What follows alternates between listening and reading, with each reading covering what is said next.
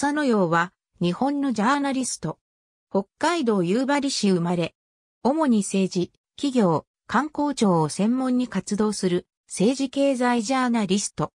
1934年、北海道夕張市に生まれる。旧から太へ渡り戦後引き上げ、室蘭の食品会社に勤務。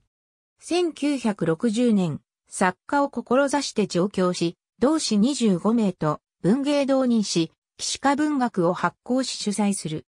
1974年、40歳の時、ジャーナリストとして独立。1976年、月刊誌、新生計を創刊。1984年、月刊誌を解明し会員制情報誌、新生計情報として発刊。2001年、環境ジャーナルに改名し、テーマとして環境問題を追加。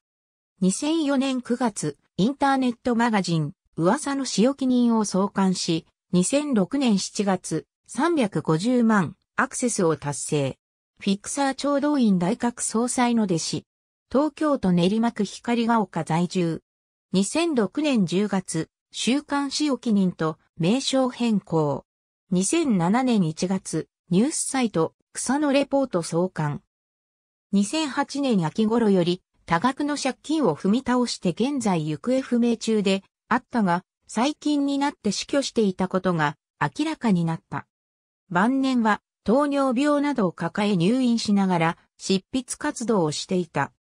フィクサー聴導員大学総裁によると、猪瀬直樹東京都知事の帝の肖像は二次作、西部商法悪の構図の盗作であるとして抗議を続けていた。ソース、https コロンスラッシュスラッシュ tyouduin.blogsspot.com スラッシュ2012スラッシュ11スラッシュ plog ダッシュ post14 html ありがとうございます。